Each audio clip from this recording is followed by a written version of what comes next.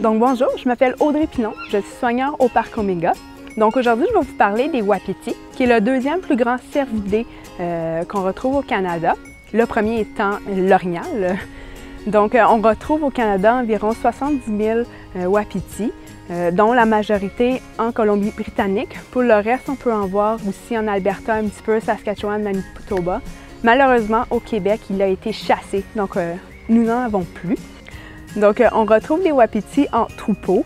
Euh, on a les mâles qui ont un, panache majestueux, qui en ce moment au parc Omega sont en train de perdre leur velours. Donc, lorsque le panache a fini de grossir, euh, les velours vont tomber et par la suite, les mâles vont être en route, donc vont être prêts pour l'accouplement. Donc, il va y avoir des affrontements entre les mâles qui peuvent être quand même assez violents entre eux.